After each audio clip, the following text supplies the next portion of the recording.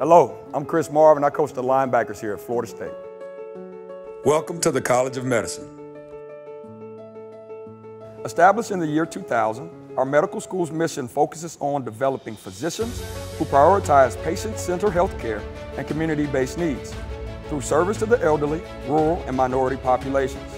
Former Seminole safety and Rhodes Scholar Dr. Myron Rolle now performs neurosurgery at Massachusetts General Hospital.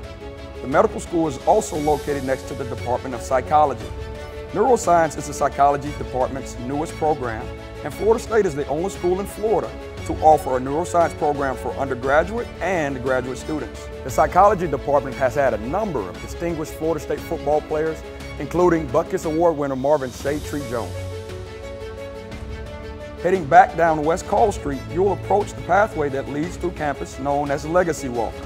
Our next stop is on Legacy Walk, located near the Math and Sciences Department.